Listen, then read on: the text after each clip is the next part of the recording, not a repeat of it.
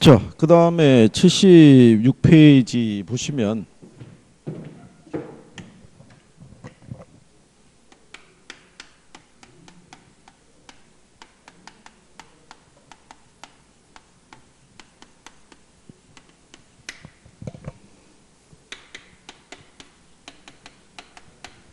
아, 수요와 공급의 균형에 대해서 배워보시는 거예요. 균형.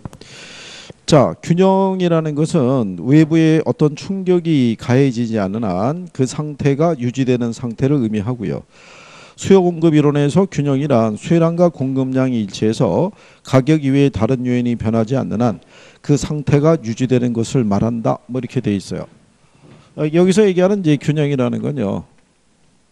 아, 시장 전체 수요 곡선하고요. 시장 전체의 공급 곡선이 이렇게 교차하는 이 점을 균형이라고 그래요. 균형. 여기서 결정된 가격을 우리가 균형 가격. 여기서 결정된 양을 균형량 또는 균형 거래량 이렇게 얘기를 해요. 이거 지난번에 한 거 기억은 하시나요? 어? 자, 가령 예를 들어서 균형 상태라는 것은요. 균형 가격이 만약에 천 원이라고 가정하자고요. 그럴 때 균형량이 100이란 얘기는요. 이때는 균형 가격 하에서는 수요량과 공급량이 서로 일치하는 거예요. 균형 가격 하에서는 그러면 둘이 서로 일치한 균형 상태를 유지한다는 것은 여기 있는 수요자나 공급자나 이 가격이 있죠.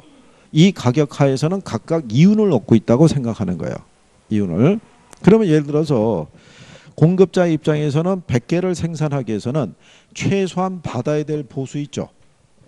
보수. 그걸 우리가 생산의 기회비용이자 전용 수입이라고 얘기를 하는데 이 사람들은 최소한 800원만 받아도 100개를 생산할 수 있는 거예요.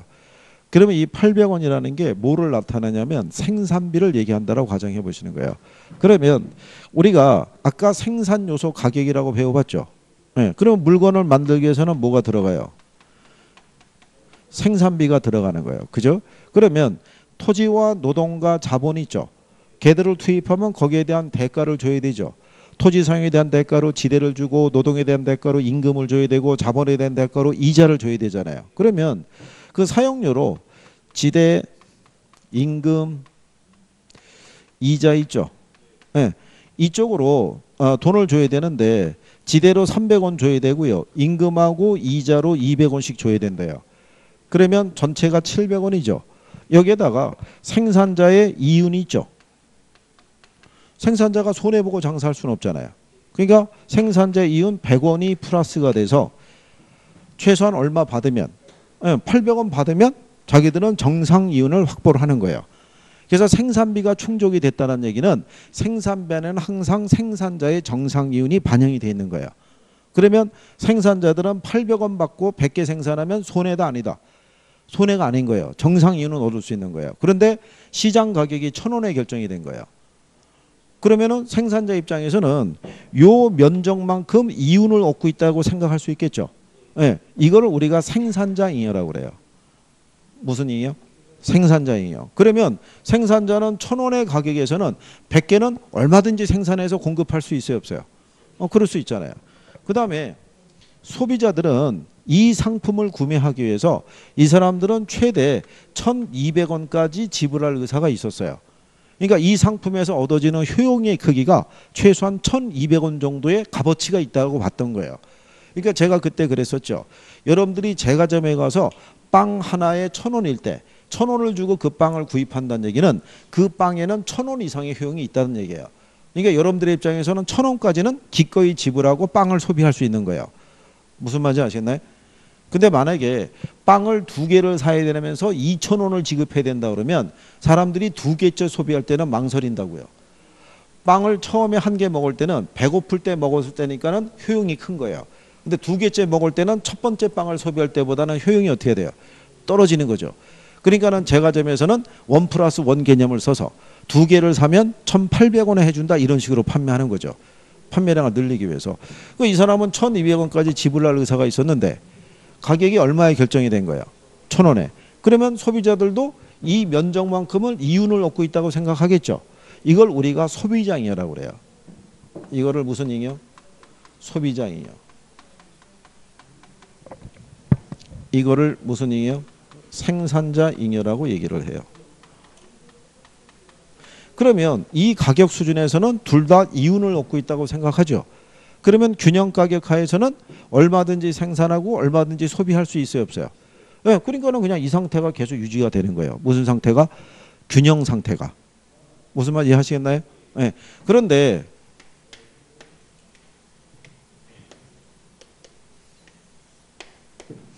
그러면은 균형 가격이 얼마인 상태에서 천 원인 상태에서 균형량이 지금 100개란 얘기잖아요. 그죠? 근데 이 가격이 변할 수 있어요, 없어요? 어, 변할 수 있죠. 그래서 가격이 만약에 1,200원으로 상승했다고 가정하자고요.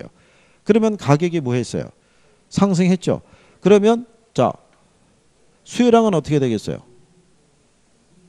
수요량은 줄어들죠. 수요 법칙을 배우셨잖아요. 그러면 공급량은 어떻게 돼요? 공급량은 증가하죠.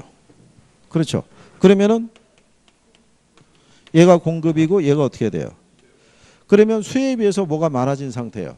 어, 공급이 많아진 상태가 되죠. 그러면 그때 이 상태를 뭐라 그런다? 초과 공급이라고 얘기하는 거예요. 그죠? 그러면 초과 공급 상황이 되면 공급자 간의 경쟁이 발생하는 거예요. 예를 들어서 갑이라는 사람이 김장을 하기 위해서 배추를 100포기를 구입하러 왔어요. 왔는데 배추를 파는 사람들이 상인이 세 사람이나 있는 거예요. 근데 각각 100포기씩 갖고 있는 거예요. 원래 시장 가격은 100포기에 1,000원이었어요. 그런데 지금 팔겠다는 사람이 많아졌잖아요. 그러면 이제 이 사람이 가보겠죠. 100포기 얼마요? 그럼 이 사람은 100원이요. 이렇게 얘기할 거 아니에요. 근데 옆에 가게를 가보면은 뭐라고 그러겠어요? 우리 집은 95원 합니다. 그럼 옆에 집에 가면은 뭐라고 하겠어요? 우리 집은 90원에 팝니다. 이렇게 얘기하겠죠. 그럼 왜 이런 식으로 가격이 떨어지겠어요? 배추라는 거는 오 장기간 보관할 수 있는 상품이 아닌 거예요. 이 계절이 지나면 다 썩어서 없어질 거 아니에요. 그러니까 얘네들은 이번 생산하는 기간에 얘네들 다 소진해야 되는 거예요. 그러면 결국은 공급자 간의 경쟁이 발생하면서 덤핑 또는 바겐셀딩이 일어나면서 가격이 어떻게 돼요? 떨어지겠죠. 그러면 가격이 이런 식으로 만약에 1,100원으로 떨어지게 되면 수요량은 어떻게 돼요? 늘어나겠죠. 그렇죠? 대신에 공급량은 가격이 하락했으니까 공급량은 어떻게 돼요? 줄어들겠죠. 이 과정이 되풀이 되면서 올라갔던 가격이 다시 무슨 상태로 균형 상태로 회귀한다는 얘기예요. 그러면 초과 공급 상태에서는 무슨 경쟁에서 공급자 경쟁에서 가격이 뭐 한다는 거예요. 예, 하락한다는 거예요. 근데 반대로 가격이 하락할 수도 있어요, 없어요? 음, 가격이 하락할 수도 있죠. 800원. 그러면 가격이 하락하게 되면 공급량은 어떻게 돼요? 줄어들 것이고 수요량은 어떻게 돼요? 늘어나겠죠. 그럼 이번엔 반대로 여기가 공급이 되고요. 여기가 뭐가 되는 거예요? 수요가 되는 거죠. 그러면 무슨 상태가 발생하냐면 수요에 비해서 공급이 부족한 상태가 되는 거예요. 그죠? 그러면 반대로 이 사람들이 소비자들이에요. 자, 김장을 하기 위해서 배추를 구입하러 왔는데 배추를 파는 사람이 한 사람밖에 없어요. 그죠? 그럼 원래 시장 가격이 얼마였는데? 천 원이었는데 이 사람은 천 원을 제시하겠으나 이 사람은 천 원이 아니라 천 오십 원을 제시하겠죠. 이 사람은 얼마를? 천 백 원을 제시하겠죠. 왜? 이걸 못 사면 김장을 못 한단 말이죠. 그렇잖아요. 네, 그렇기 때문에 그러면은 수요자 경쟁에 의해서 여기 초과 수요가 발생한 거죠. 그럼 수요자 경쟁에 의해서 가격이 어떻게 돼요? 올라가겠죠. 얼마로?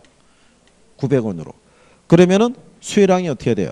아, 공급량이 늘어나겠죠. 대신에 수요량은 어떻게 돼요? 줄어들겠죠. 이 과정이 되풀이되면서 다시 무슨 상태로 균형 상태로. 그러면 초과 수요 상태에서는 수요자 간의 경쟁에서 가격이 어떻게 된다는 거예요? 상승하는 거예요. 그러면 결국은 초과 수요 상태에서는 가격이 어떻게 되고요? 상승하고 초과 공급일 때의 가격은 하락한다는 얘기죠. 그래서 거기 보시면 동그라미 A 있죠. 76페이지에 중간에 초과 수요와 균형의 결정 과정이라고 있죠. 밑줄 치는 거죠. 시장에 수요하고자 하는 양이 공급하고자 하는 양보다 많은 것을 초과 수요를 하고 초과 수요가 발생하면은 가격이 어떻게 된다? 상승한다라고 얘기해요. 거기까지. 그 다음에 동그라미 B에 가면은 초과 공급과 균형의 결정 과정이라고 있죠. 시장에 공급하고자 하는 양이 수요하고자 하는 양보다 많은 것을 초과 공급이라 하고 초과 공급이 발생하면 가격이 하락한다. 거기까지. 그래서 요 균형에서 이제 가장 기본적으로 인식해야 될 게 초과 수요하고 초과 공급인 거예요. 그래서 초과 수요는 가격이 상승하는 거. 초과 수요 상태는 어떤 상태냐면 수요에 비해서 공급이 부족하거나 공급에 비해서 수요가 많은 상태를 초과 수요라고 그래요. 초과 공급이라는 거는 수요에 비해서 공급이 많거나 공급에 비해서 수요가 부족한 상태를 우리가 초과 공급이라고 얘기를 해요.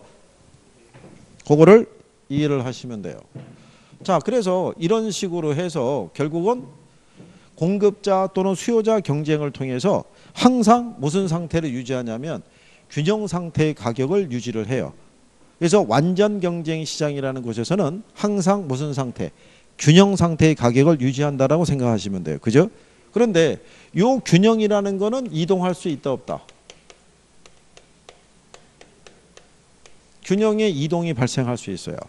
최초의 균형에서 새로운 균형으로 갈 수 있다는 얘기예요. 그러면 이런 얘기잖아요.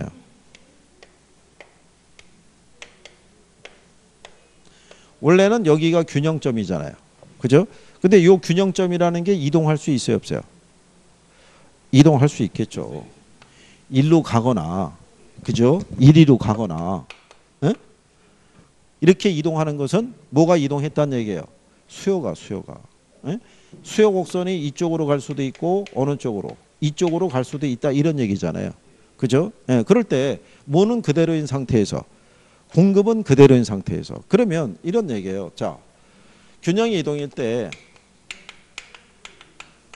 공급은 불변인데 뭐가 증가했대요? 수요가 증가했어요.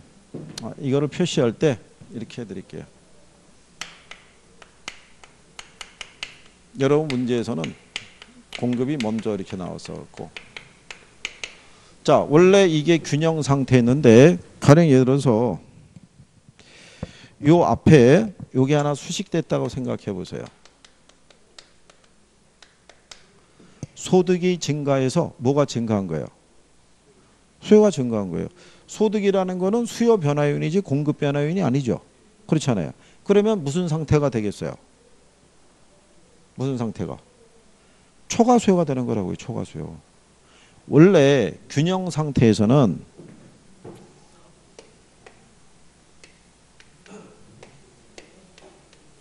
이 가격 하에서는 수요량과 공급량이 같죠. 이게 전부 다 100이었단 말이에요. 100이었는데 지금 뭐가 증가해서 소득이 증가해서 수요가 뭐 했다는 거예요. 증가한 거예요. 그러면 원래 요 균형점에서 새로운 균형점으로 이동해야 하네요. 이동할 거 아니에요. 그 수요가 증가했으니까 균형점이 이쪽으로 이동한다고요. 뭐가 증가했으니까 수요가 그러면 공급에 비해서 뭐가 많아진 상태가 되겠어요. 그렇죠. 수요가 많아진 상태가 되는 거예요. 그러면은 이 상태를 무슨 상태라고 그래요? 초과 수요. 초과 수요만 가격이 상승하는 거죠. 그죠? 그러니까 얘는 그대로 100이었는데 얘가 100에서 얼마로 늘었다는 거예요. 얘에서 100에서 110으로 늘었다고요. 무슨 말인지 아시겠어요? 네, 그러니까는 원래 균형에서 새로운 균형점으로 이동하잖아요. 근데 요 이동한 것은 뭐만 증가해서 수요만 증가해서 그러면 균형 가격과 균형량이 있었을 때 균형량은 거래량은 증가해요, 감소해요. 거래량은 아니 거래량은 늘어날 거 아니에요. 뭐가 늘었으니까 수요가 늘었으니까 그러면 얘가 뭐 하는 거예요? 증가하죠. 가격은 가격은 상승하죠. 그죠? 공급이 불변인 상태에서 수요가 증가했죠. 그럼 초과 수요예요, 초과 공급이에요. 어? 아, 초과 수요잖아요. 아, 지금 공급에 비해서 뭐가 많아진 거예요? 수요가 많아졌잖아요. 여기 뭐라고 그랬어요? 초과 수요는 가격을 뭐 한다고? 상승시킨다고. 그러면 자 이렇게 생각해 보세요. 얘는 불변인데 이 수요가 감소했어요. 수요가 감소한 거는 뭐가 감소했다는 거예요? 소득이 감소했어요. 그렇죠? 그러면은 공급은 그대로 얼마였는데 100이었는데 소득이 줄어서 수요가 90으로 줄었어요. 그렇잖아요. 그러면 지금 그림상에서 보게 되면 이렇게 될 거 아니에요. 원래 얘네가 여기가 균형이죠. 그렇잖아요. 원래 수요 공급이 100이었는데 이런 소득의 변화로 해서 수요가 어떻게 돼요? 줄어드는 거예요. 이렇게 90으로. 그러니까 원래 여기가 최초의 균형인데 새로운 균형점으로 이동했죠. 이동한 이유가 뭐가 줄었다는 거예요. 수요가. 그러면 거래량이 어떻게 돼요? 줄어들 거 아니에요. 그렇죠? 공급은 그대로인데 뭐가 줄어서 수요가 줄었잖아요. 그럼 초과 수요가 돼요? 초과 공급이 돼요? 초과 공급이니까 가격이 하락할 거 아니에요. 무슨 말인지 이해하시겠어요? 이거? 자, 가만히 보시면 공급이 불변인데 뭐가 증가해요? 수요가 증가하죠. 공급이 불변인데 수요가 감소하죠. 그러니까 이거를 초과 수요라는 게 뭐라고 그랬어요? 초과 수요. 초과 수요. 어? 초과 수요라는 거. 수요에 비해 공급이 어떻게 돼요? 부족하거나 그죠? 공급에 비해 뭐가 수요가 많거나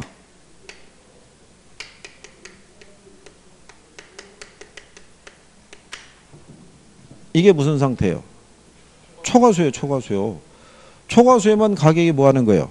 상승하는 거라고 초과수요는. 그죠? 여기 지금 앉아 계신 분들 있죠? 저는 혼자잖아요. 그죠? 제가 책을 하나 갖고 오는 거예요. 학계론 비법서. 어, 이것만 보면 몇 점? 80점은 100% 보장 이렇게 돼 있는 거예요. 그죠? 근데 책이 이거 하나밖에 없어요. 책이. 근데 이게 이것만 보면은 가격도 얼마밖에 안 하냐면 만 원밖에 안 한대요. 만 원밖에. 그죠? 그러면 다른 일반인들은 관심이 없겠으나 여러분들은 관심이 있을 거 아니에요. 그죠? 그러면 자, 다 드리고 싶은데 하나밖에 없으니까. 그죠? 입찰을 들어가겠습니다. 이렇게 얘기하는 거죠. 사고 싶은 사람. 그럼 처음에 만 원인데 부를 거 아니에요. 김처녀가 만 오백 원 이렇게 하면 김총각이 만 천 원 이렇게 갈 거 아니에요. 그럼 또 옆에 있는 사람이 만 이천 원 이렇게 해서 가격이 계속 올라갈 수 있어요 없어요? 무슨 상태가 되니까? 초과 수요가 되니까. 그렇잖아요? 근데 여러분보다 여기 한 30명이 와가지고 다그 책을 다 하나씩 갖고 있는 거예요. 이거 팔려고 왔다고. 그잖아요. 처음에 만 원이다 이거예요. 만 원인데 가만히 생각하니까 훨씬 양이 많잖아요. 그러면 여러분들은 그냥 침묵으로 이거 하는 거죠. 그럼 그 중에 마음 약한 사람이 뭐라고 그래요? 9,800원에 팔 수도 있어요. 얘기하죠. 그럼 이쪽에서 9,500원에 팔 거예요. 나는 9,000원에 팔 거예요. 초과 공급 상태가 되면은 오히려 가격이 어떻게 돼요? 떨어지는 거예요. 그러니까 초과 수요하고 초과 공급 상황을 이해를 해야 돼요. 그렇죠? 그러니까 여기 조건은 뭐냐면 한쪽이 무슨 상태에서 변하지 않는 상태에서 한쪽만 변하는 거예요. 한쪽만. 그죠? 그러면 자 반대로 이렇게 해보는 거예요. 자 여기 보시면은 수요는 불변이에요.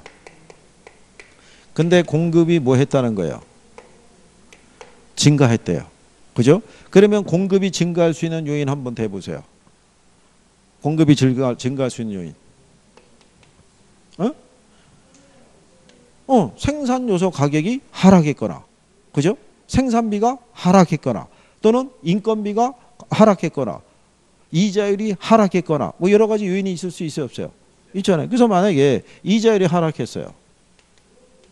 그래서 뭐가 증가한 거예요? 얘는 그대로인 상태에서. 그럼 이게 무슨 상태가 되겠어요? 초가 원래는 얘도 100이었고요. 얘도 100이었는데 얘가 110으로 늘었다고요. 이 원인으로 인해서. 그러면 지금은 공급이 110이고 수요가 100이란 얘기죠. 그럼 수요에 비해서 뭐가 많아진 상태예요? 공급이 많아졌잖아요. 그 무슨 상태가 되는 거예요? 초가 공급이면 그러면 거- 양은 어떻게 되는 거예요? 거래량은 늘었을 거 아니에요. 공급이 늘었으니까. 근데 뭐만 늘었다는 거예요? 공급만 늘었으니까 가격은 어떻게 돼요? 하락한다고요. 근데 얘가 수요가 불변인데 공급이 감소했어요. 그죠? 공급이 감소해서 얘가 90으로 줄었어요. 그렇잖아요. 그럼 원래 얘도 100이었고 얘도 100이었는데 얘가 90으로 줄었다고요. 그럼 거래량이 어떻게 돼요? 줄었겠죠? 그러니까 이 상태가 무슨 상태가 된 거예요? 지금 수요에 비해서 공급이 부족한 상태가 됐잖아요. 그러면 초과 수요가 되니까 가격은 어떻게 돼요? 상승하는 거죠. 그럼 여기서의 조건은 뭐냐면 한쪽이 일정하다고 가정할 때 초과 수요 또는 초과 공급 상황에 따라 가격은 올라갈 수도 있고 가격은 내려갈 수도 있다 이런 얘기가 되는 거예요. 무슨 말인지 이해하시겠나요? 예, 그래서 여러분들이 거기 77페이지에 보시면 상단 그래프 밑에 동그라미 이번에 균형의 이동이라고 돼 있죠. 수요 곡선 또는 공급 곡선 중에서 하나만 이동하는 경우 있죠. 그죠? 거기 보면 수요만 증가하고 수요만 뭐 한다는 거예요. 감소한다고 돼 있잖아요. 그죠? 한쪽은 그대로인 상태에서. 그러니까 초과 수요냐 초과 공급이냐 이것만 보는 거라고요. 그러니까 원래 이 조건을 얘기할 때 제가 조금 아까 이거를 해드린 거예요. 무슨 상태냐면 지금은 우하향하는 수요 곡선과 우상향하는 공급 곡선이 있죠. 예, 이 균형 상태를 가정하는 거예요. 이 상태에서 얘네들이 이렇게 변함에 따라서 새로운 균형점으로 이동한다는 얘기예요. 이동하는 과정에서 초과 수요가 될 수도 있고 무슨 상태가 초과 공급 상태가 될 수 있다 이런 얘기예요. 그 상태에서 가격과 거래량이 어떻게 변하냐를 얘기를 하는 거예요. 그죠? 그럼 여기가 최초의 균형인데 소득이 증가해서 수요가 증가하죠. 네, 수요가 증가하면 공급은 그대로인 상태에서 그럼 수요가 증가하게 되면 원래 균형점에서 새로운 균형점으로 이동하죠. 그러면서 거래량이 어떻게 돼요? 늘어난단 말이에요. 근데 수요만 늘었으니까 가격은 어떻게 돼요? 상승하는 이런 형태가 나타난다고요. 예. 그러니까 이거를 또 외우면 된다 안 된다. 외우면 안 되는 거예요. 이해해야 돼 이해. 아니 일단 초과 수요하고 뭐를 초과 공급 상황을 이해해야 되잖아요. 손정이 무슨 말인지 알겠어? 김총관 무슨 말인지 알겠어? 자수해, 자수해 그냥 조금은 이해가 되면은 확실히 이해가 되는 거지. 그게 무슨 저기가 있겠어.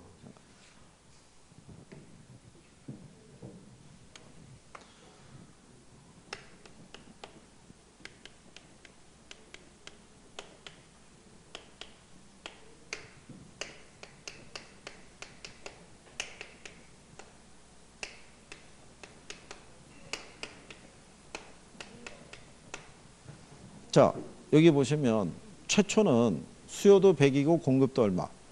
100이래요. 근데 변화가 발생한 거예요. 변화가 새로운이라니까 그러겠네요.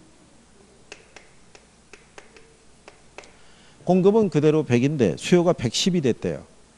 그러면 수요에 비해 어, 공급에 비해서 뭐가 많아진 거예요? 수요가 많아졌잖아요. 그 무슨 상태예요? 초과 수요. 그러면 가격은 올라가는 거예요. 양은 양은 늘어난 거잖아요. 얘네 100, 100이었잖아요. 근데 얘가 얼마로? 110으로 거래량이 늘어났단 말이에요. 어? 그러면 가격은 어떻게 돼요? 상승하는 거예요, 상승. 그러니까 원래는 지금 이렇게 최초의 균형 상태에서 요 변화가 하나 발생한 거예요. 그러면 이 변화는 무슨 변화냐면 공급은 그대로인 상태에서 뭐만 늘었다는 거예요? 수요만 늘었다는 거예요. 그럼 또 하나의 변화는 뭐냐면 얘는 100인데 얘가 90으로 이렇게 줄었어요. 그죠? 그러면 지금 무슨 상태가 돼요? 초과 공급이잖아요. 초과 공급이면 가격은 하락이잖아요. 거래량은 줄었잖아요. 이렇게 지금 얘기하는 게 이거 얘기하는 거예요. 이거 지금 이거 하는 게 그죠? 근데 여러분 시험에 이렇게 숫자를 해준다 안 해준다 안 해준다고요. 그냥 문장으로 나오지. 에? 그러면 똑같잖아요. 최초가 있고 변화가 됐을 때 최초는 수요도 100이고 공급도 100이에요. 수요는 그대로 100인데 공급이 110으로 늘었어요. 그럼 무슨 상태예요? 초과 공급이면 가격은 하락할 거 아니에요. 거래량은 아, 늘었을 거 아니, 생각해요. 초과 공급이 되려고 그러면 수에 비해서 공급이 많아진 거잖아요, 지금. 공급자들이 더 많이 들고 나와서 거래하겠다고 지금 얘기하는 거 아니에요, 지금. 어? 그러면 자, 여기 수요는 그대로 100인데 얘가 90으로 줄었어요. 무슨 상태가 돼요? 초과 수요면 가격은 상승하는 거고 거래량은 아, 줄었잖아요, 지금. 이거 90으로. 어? 팔려고 나온 양이 줄어든 거 아니에요, 지금. 어? 공급자들이 원래는 100개를 들고 나와서 팔겠다는 사람들이 갑자기 90개만 들고 나와서 팔겠다고 시장에 나와 있다고요. 그러니까 거래량이 당연히 어떻게 돼요? 어, 줄을 수밖에 없을 거 아니에요. 그죠? 오직 하면 선생이 이쪽으로 가겠어요. 저걸 버리고. 그죠? 어. 이게 지금 어렵다고 생각하니까 이걸로 바꾸는 거 아니에요. 지금 숫자로. 이거는 이해하시겠어요?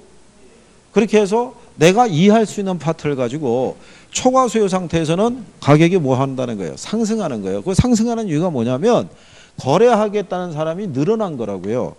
원래는 100개만 거래하겠다고 들어왔던 사람들이 110개를 구매하겠다고 들어온 거라고요.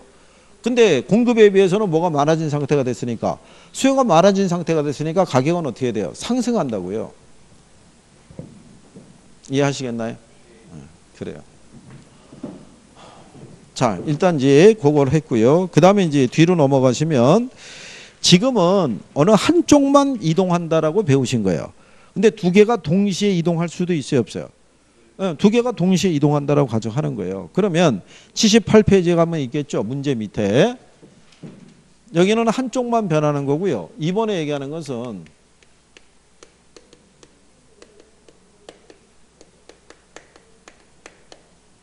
수요와 공급이 모두 변하는 경우를 얘기를 해요. 그죠? 그런데 첫 번째 조건은 뭐냐면 수요도 증가하고 공급도 뭐 한다는 거예요? 증가한다는 걸 얘기를 하는 거예요. 그러면 수요도 증가하고요.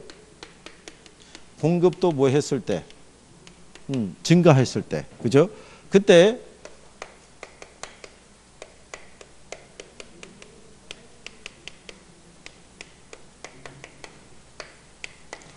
가격은 어떻게 되겠어요? 자, 수요도 증가하고 공급도 증가했다는 얘기죠. 예, 원래는 수요도 100이었고요. 공급도 얼마였다는 거예요? 100이었는데 수요도 증가하고 공급도 뭐 했다? 증가했다는 거예요. 그러면 양은 어떻게 되겠어요? 양은 양은 무조건 증가해요. 왜? 얘도 증가하고 얘도 뭐 했으니까? 증가했으니까. 그러면 가격은 어떻게 돼요? 가격은 가격은 모른다고요. 자, 만약 이렇게 생각해 보세요. 얘가 100에서 110으로 늘었어요. 근데 얘는 100에서 120으로 늘었어요. 그럼 둘 다 증가했죠. 근데 얘가 더 많이 늘어났잖아요. 그럼 초과 공급이 되니까 가격이 떨어질 수 있죠. 근데 얘가 110이 아니라 얘가 150으로 늘어났으면 오히려 수요가 더 많이 늘어나서 가격은 상승할 수도 있어요, 없어요? 있잖아요. 근데 지금 어느 게 더 많이 늘어났다라는 표시가 없잖아요. 그냥 늘어났다고만 돼 있지. 그러니까는 가격은 우리가 알 수가 없는 거예요. 초과 수요 상태인지 초과 공급 상태인지 알아요, 몰라요? 모르는 거예요. 그죠? 그럼 만약에 수요도 증가하고요. 공급도 증가했는데 이게 서로 같대요. 그러니까 얘도 110으로 늘어나고요. 얘도 110으로 늘어났대요. 그러면 양은 어떻게 돼요? 양은 무조건 증가죠. 가격은요? 가격은 불변이죠.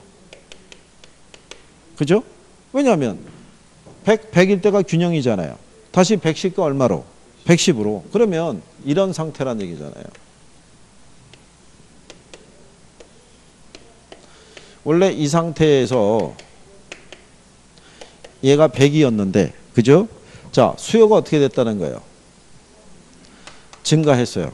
그런데 공급도 역시 증가했다는 거죠. 이렇게. 그러면 둘의 이동폭의 크기가 같죠? 네, 그러면 이 원래 최초의 균형에서 새로운 균형으로 갔죠. 갔을 때 이게 110이 된다고요. 수요도 110, 모두 110, 공급도 110. 그러니까 가격은 어떻게 돼요? 불변이죠. 둘의 양의 증가가 똑같으니까. 무슨 말인지 하시겠나요? 자, 근데 만약에 수요의 증가가 공급의 증가보다 크대요. 그러니까 원래 100이었는데 얘는 150으로 늘었고요. 얘는 110으로 늘었대요. 그죠? 그러면 양은 어떻게 돼요? 양은 증가하죠. 가격은 지금 공급이 늘어난 거에 비해서 뭐가 더 많이 늘었어요? 수요가. 그럼 무슨 상태가 돼요? 초과 수요는 가격이 상승하는 거죠. 그렇죠? 무슨 상태니까? 초과 수요, 초과 수요. 천천히요. 조금 아까 초과 수요 해봤지. 초과 수요는 가격이 어떻게 돼? 어, 지금 수요도 증가하고 공도 증가했는데 수요가 더 많이 늘었잖아. 무슨 상태가 돼? 그럼 초과 수요면 가격이 상승하는 거야. 그러면 반대로 수요도 증가하고 공급도 증가했는데 공급의 증가가 수요의 증가보다 큰 거예요. 얘는 110으로 늘었는데 얘는 150으로 늘은 거예요. 원래 100에서. 그러면 지금은 얘네 둘 다 뭐 했는데 증가했는데 뭐가 더 많이 증가한 거예요? 그럼 무슨 상태가 돼요? 그러면 가격은 어, 하락하는 거예요, 하락.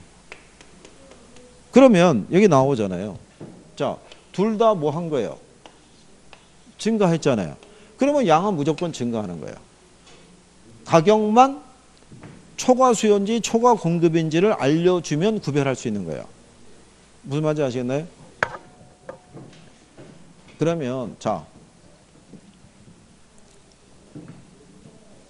이번엔 반대로 수요도 감소하고요. 공급도 뭐 한대요? 감소한대요.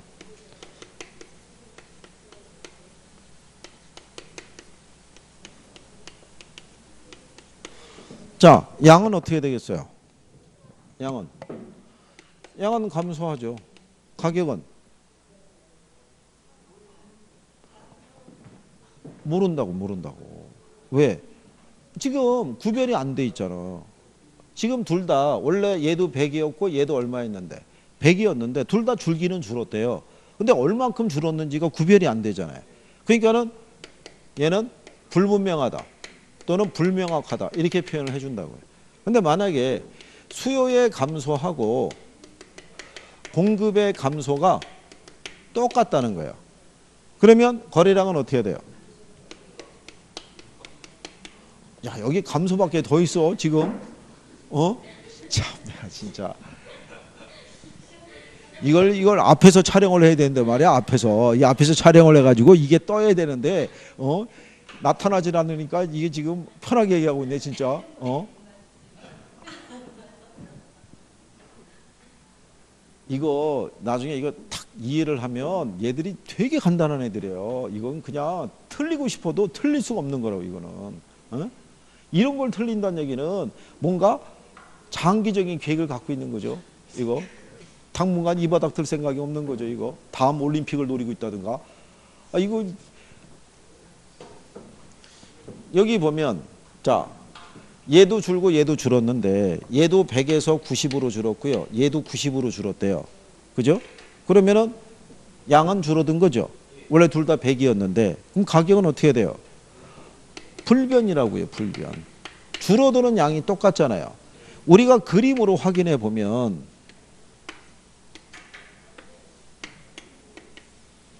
이렇게 돼 있을 때 지금 뭐가 줄었다고 얘기하냐면 수요가 줄어드는 거예요. 그런데 모두 줄었다는 거예요. 공급도 줄어들었다고요. 그죠? 그러면 거래량만 어떻게 90으로 줄어들었지 가격은 불변이라고요. 에? 무슨 말인지 알겠나요? 그러니까 여러분들이 아까 뭐라고 그랬어요? 수혜 여기가 원래 최초의 균형점이죠. 예, 이 라인에서 가격이 이렇게 수평으로 일정하다는 가격 하에서 균형점이 왼쪽 또는 오른쪽 오른쪽으로 이동하면은 양만 증가 감소하는 경우지 가격은 불변이라고요. 불변. 예?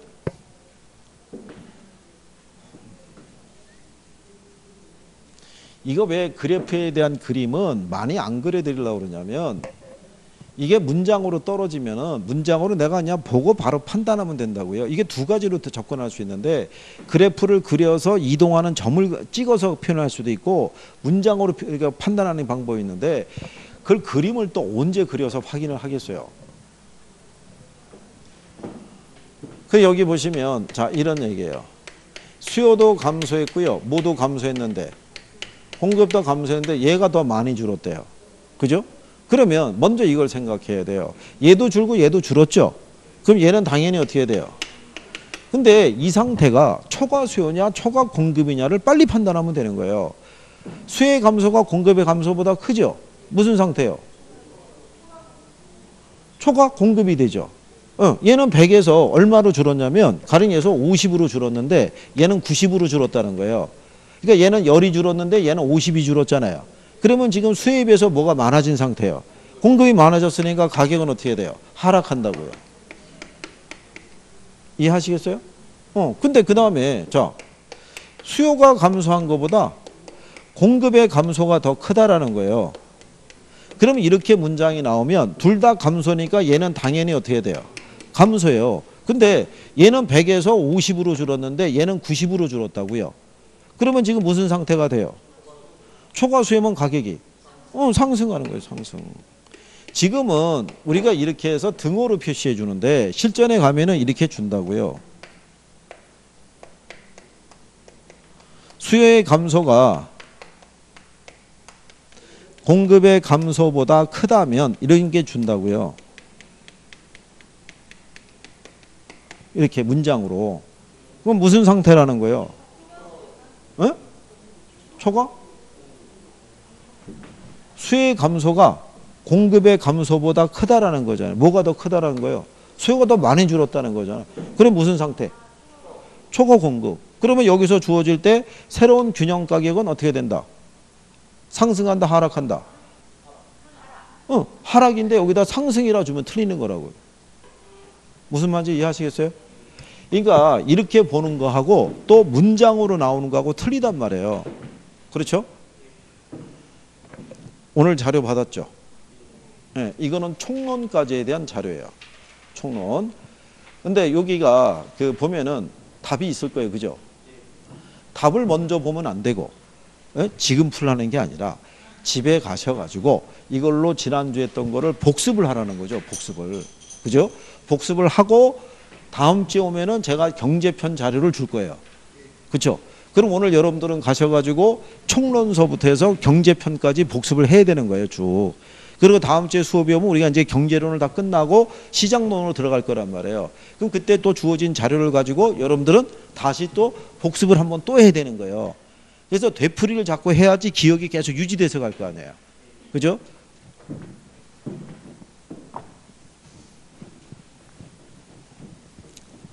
지금은 배운 단원대로 여러분들에게 자료가 주어지는데 3월 달이 되잖아요. 3월 달은 누적식으로 준다고요. 그 3월 달은 우리가 첫 번째 수업하면은 총론 하겠죠. 그러면 총론 자료를 줬다가 2주차가 들어가면 경제론 들어가겠죠. 그러면 자료가 처음은 1만 줬다가 두 번째는 어디까지 주겠어요? 2까지 주는 거예요. 그게 계속 누적이 된다고요. 이렇게 쭉. 응? 아니 자료를 주면 뭐 하겠냐고요. 활용을 해야지. 그죠? 자료는 수집하는 데 의의가 있는 거 아닌 거예요. 어? 활용을 해야 되는 거예요. 활용을. 자, 그러면 이쪽을 보면 여기는 지금 수요와 공급이 같은 방향으로 간 거 아니에요. 둘 다 증가, 둘 다 감소 이런 거잖아요. 그러니까 양의 변화를 파악하기는 쉽죠. 예, 둘다 증가했으니까는 증가로, 둘 다 감소했으니까 감소. 다만 그 크기에 따라 초과 수요냐 초과 공급이냐를 가지고 우리는 가격의 변화를 파악하면 되는데 이번에 하는 건 뭐냐면요. 한쪽은 증가하고 한쪽은 뭐 한다는 거예요?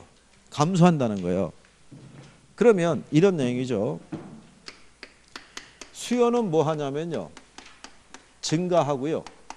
공급은 뭐 한다는 얘기냐면 감소한다는 거예요. 수요는 증가하고 공급 뭐 한다? 감소. 그럴 때 균형 가격이 있죠. 얘하고 균형량이 있죠. 네. 자, 양은 어떻게 되겠어요? 아니 얘는 증가했다는데. 이거는 모른다고요. 아니 지금 얘가 증가하고 얘가 감소했다는데 아니 원래 얘네들이 다 100이었다고요. 그죠? 근데 어느 게 더 많이 증가하고 감소했는지가 표시가 안 돼 있잖아요. 모르잖아요. 그러니까는 양은 불변인데 이 조건 상태를 보면은 수요는 뭐 했대요?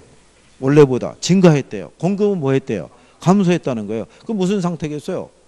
수요는 늘어나고 공급이 줄어들었으면 무슨 상태? 초과수면 가격은 응, 그러니까 가격은 상승하는 거예요. 가격은 그러면 수요의 증가하고요.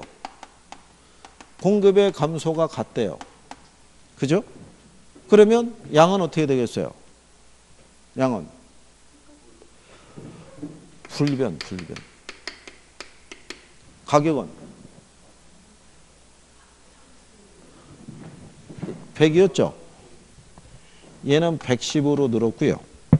얘는 90으로 줄었대요. 그러면 늘어난 양과 줄어든 양이 같잖아요. 그래서 얘가 불변이라는 거예요. 근데 이 상태가 무슨 상태겠어요? 초과수요잖아요. 그러면 가격은? 아니 그럼 벌써 눈치껏 보게 되면 지금 움직임이 반대면 가격은 안다고요. 가격은. 양만 여기서 구별하는 거라고 양만. 그죠? 왜냐하면 수요는 증가하고 공급은 감소한다고 그랬을 때는 그건 무슨 상태다? 초과수요 상태라고요. 초과수요. 그러면 이렇게 생각해 보세요.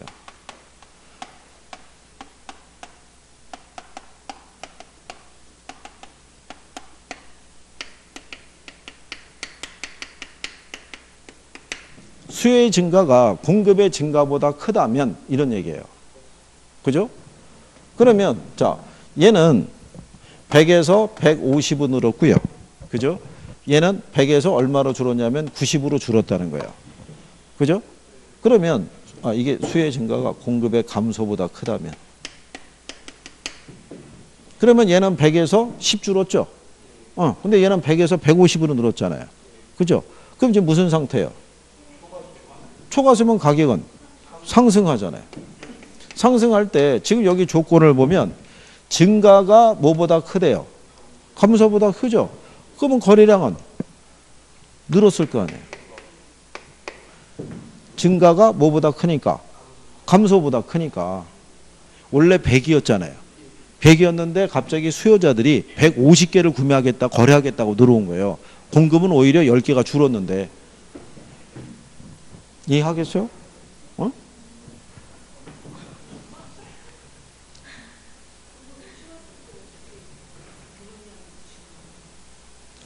아니 수요가 더 많이 늘었잖아요.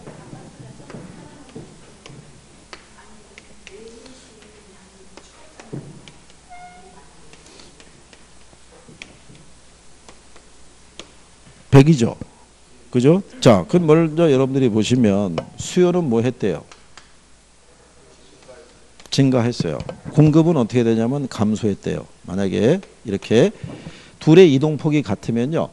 양은 그대로인 상태에서 뭐만 가격만 이렇게 늘어나요. 그죠?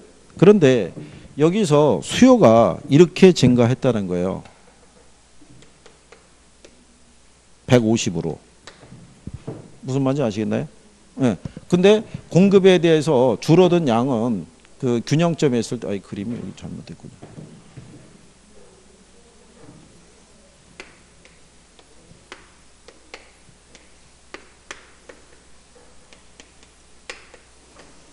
그냥 이런 식으로 설명을 해드리면 공급이 여기서 이렇게 이렇게 줄었어요.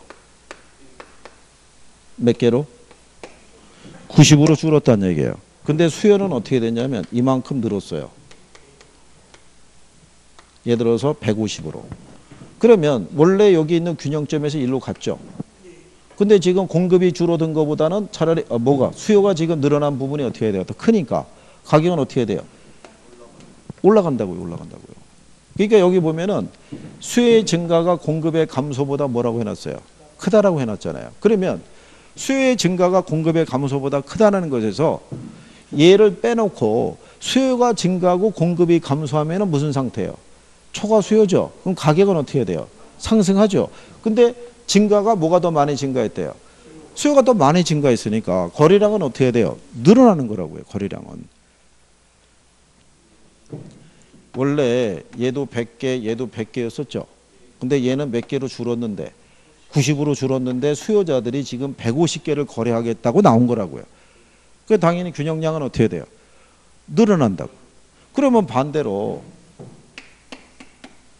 수요에 증가하고요. 공급에 뭐가 있을 때 감소가 있을 때 얘가 더 커요. 공급의 감소가. 그럼 거래량은 어떻게 되겠어요? 그럼 감소하는 거예요. 그럼 똑같은 거예요, 얘도. 지금 아마 그 이렇게 문장으로 구성이 있을 것 같은데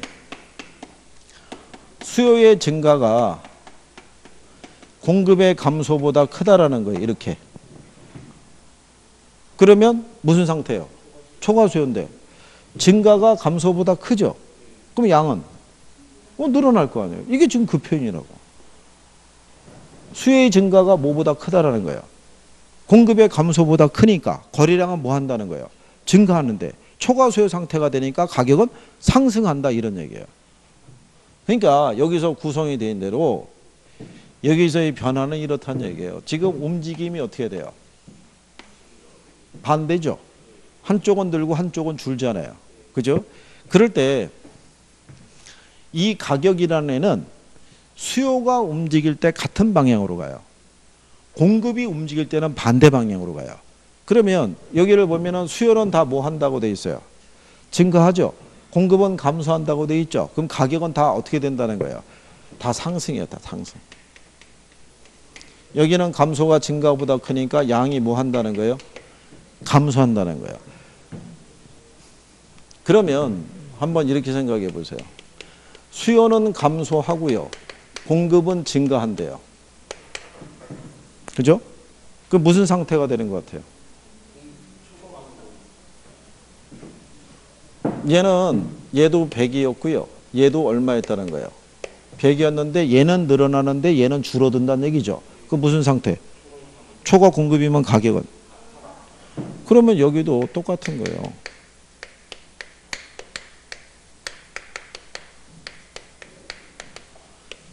얘는 뭐 하는데? 얘는 안다 모른다. 모르는 거예요. 왜? 어느 게 더 많이 줄고 늘었는지가 표시가 안 돼 있잖아요. 근데 만약에 수요의 감소하고 공급의 증가가 같다면 얘는 100에서 90으로 줄었고 얘는 110으로 늘었대요. 그죠? 그러면은 무슨 상태가 돼요? 그러면 가격은 하락하는데 얘는 불변이라고요. 늘어난 양과 줄어든 양이 어떻게 돼요? 같아지니까. 그림이 이렇게 있으면 이 상태에서 수요는 뭐 했다는 거예요? 감소한 거예요. 근데 공급은 뭐 했다는 거예요? 증가했다는 거예요. 이렇게. 그러면 양은 어떻게 돼요? 그대로인 상태에서 가격만 어떻게 돼요? 이렇게 하락하는 형태인 거예요. 그러면 수요의 감소가 공급의 증가보다 크대요. 그럼 무슨 상태겠어요? 응, 공급이면 가격은 양은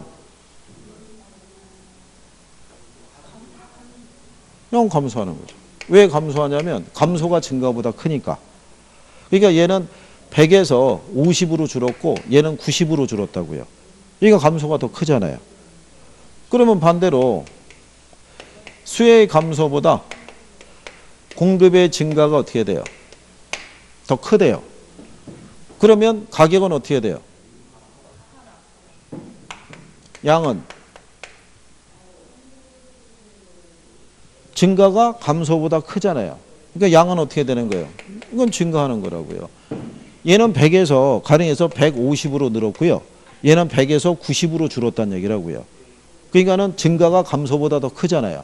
여기는 마이너스 10인데 여기는 플러스 50이잖아요. 무슨 말인지 아시겠어요? 그럼 여기도 보면 움직임이 지금 반대죠. 어, 반대니까 뭐는 알아요? 가격은 아는 거예요. 가격은 아는데 양의 변화는 구별해 줘야 한다는 거예요. 근데 저쪽에 있는 애들은 뭐는 아는 거예요. 움직임이 같은 방향으로 가죠. 그러니까 뭐는 아냐면 양은 아는 거예요. 양은. 근데 가격은 초과 수요인지 초과 공급인지를 구별해 줘야지 우리가 안다는 거예요. 무슨 말인지 하시겠어요?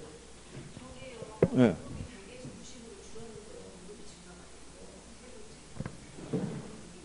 이거요? 이거요? 예.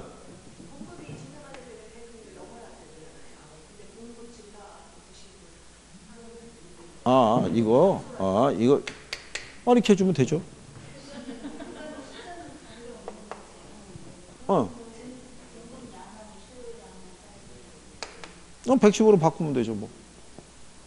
원래 100이었는데, 얘는 110으로 해서 10이 늘었는데, 얘는 100에서 50으로 마이너스 50이 된 거니까, 감소가 증가보다 크잖아요. 그러니까 양은 당연히 감소하고. 그죠? 어, 수입에서 공급이 많아졌으니까 가격은 하락하는 거고. 그죠? 그러면 이게 복잡한 내용이 아니라 일단 초과 수요하고 뭘 알아야 돼요? 초과 공급을 알아야 돼요. 그렇잖아요. 어. 그래서 여러분들이 지금 둘의 움직임이 같이 가죠. 수요는 증가하고 공급도 뭐 했다고 그래요? 예, 이 상태에서는 뭐는 몰라요. 어? 가격은 모른다고요. 지금 둘 다 뭐 했다고 그래요? 둘 다 증가했으니까 거래량은 늘었을 거 아니에요. 늘었는데 어느 게 더 많이 늘었는지를 모르잖아요. 근데 만약에 이 등호가 이렇게 주어지면 그러면은 수요가 공급보다 더 많이 늘은 거잖아요. 그럼 무슨 상태가 돼요? 초과 수요니까 가격이 상승하. 이게 표시가 되지 구별이 된다는 거고. 그러면 예를 들어서 수요는 증가하고요. 공급은 감소했다는 거예요. 그죠? 이번 움직임이 반대죠. 근데 이 조건은 무슨 상태냐면 균형 상태에서 수요는 늘어나지만 공급은 줄어들었다는 거예요. 그러면 이게 무슨 상태냐면 초과 수요란 말이에요. 그럼 가격은 어떻게 돼요? 상승하는데 양은 모른다고요. 그게 여기다 이렇게 해주면 증가가 감소보다 크잖아요. 그러니까 거래량은 어떻게 돼요? 증가한다는 얘기라고요. 반대로 들어가면 거래량이 어떻게 돼요? 줄어드는 거고. 그러니까 이 표현을 다 해줘야 안 해줘요? 다 해줘요. 출제할 때. 그거 틀린 것만 찾으면 돼요. 등호로는 안 해줘요. 자, 여러분들이 80페이지 가보세요. 80페이지 가시면 거기 예제 있죠. 우하향하는 수요 곡선과 우상향하는 공급 곡선을 갖는 아파트 시장에서 수요가 증가하고 공급이 감소한다고 할 때 다음 중에 옳은 걸 물어봤죠. 응? 응. 그러면 자 수요가 증가하고 공급이 감소하죠. 가격은 어떻게 돼요? 상승하죠. 양은 자 조금 아까 얘기했잖아요. 수요는 증가하고 공급이 감소하죠. 가격은 무조건 뭐 하는데 상승하는데 어느 게 더 많이 증가하고 감소했는지가 표시가 안 돼 있잖아요. 그러면 양 그 변화를 알 수 있어요, 없어요? 없죠. 그러면 그 중에 지문 중에 보면 5번 있죠. 걔만 그 변화를 알 수 없다고 돼 있잖아요. 양은 툭 튀어나온 애걔 하나밖에 없죠. 그럼 걔가 답인 거예요.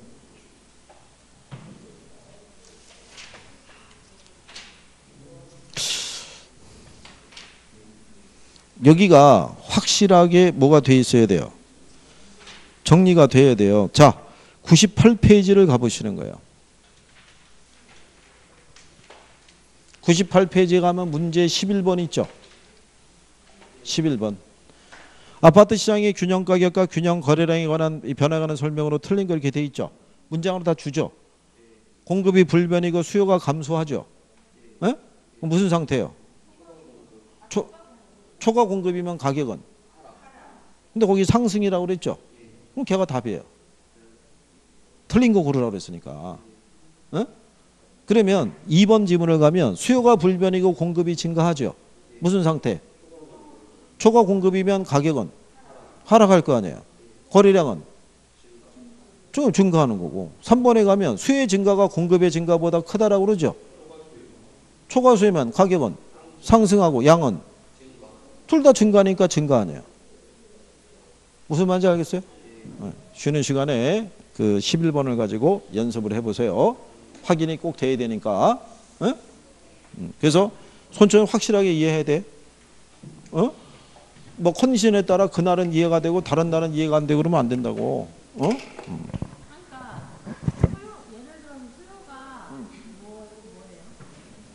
수요 수요가 뭐 사려는 어, 사려는 사람. 공급이 팔려는 사람. 공급이 팔려는 사람. 응. 아, 지금 그렇지. 그런 개념이 안 돼 있으니까 무슨 말인지.